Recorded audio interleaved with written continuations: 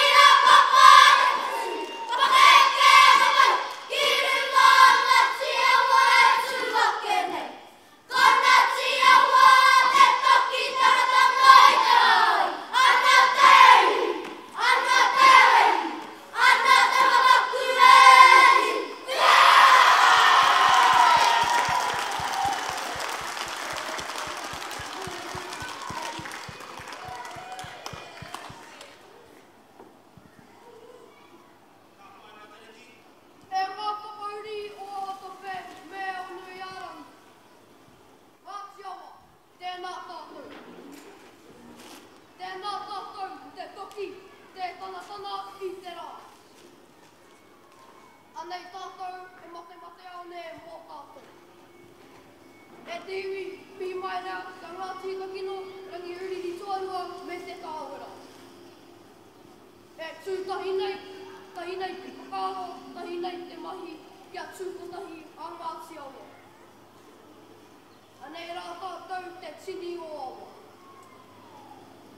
Ki ngā wai tukukiri o rātou, maringi rā ki te moana o Toi. Riporipo te rere ki Paepae Aotea.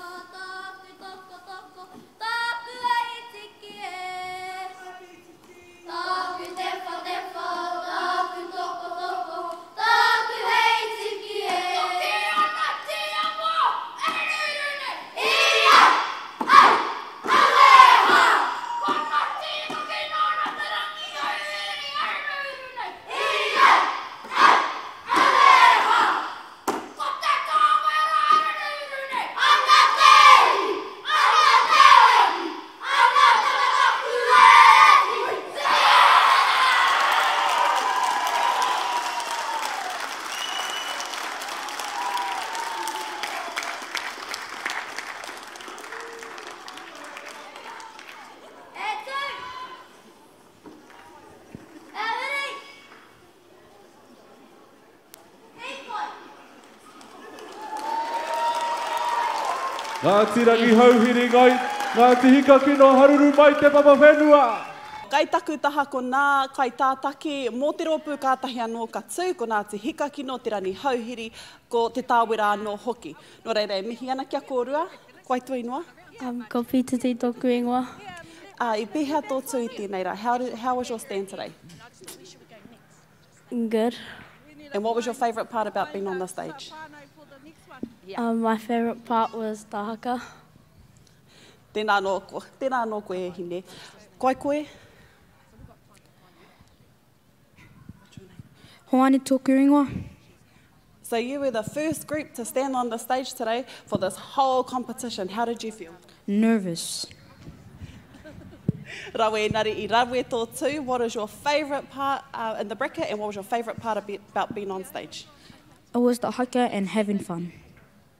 Nō reira, e mihi ana ki a kōrua, ā, e mihi ana ki a koutou katoa, anei nā uri whakatipu o Ngāti Awa, nō reira e whakawhiti atu ana, ā, ki Te Ātaamira.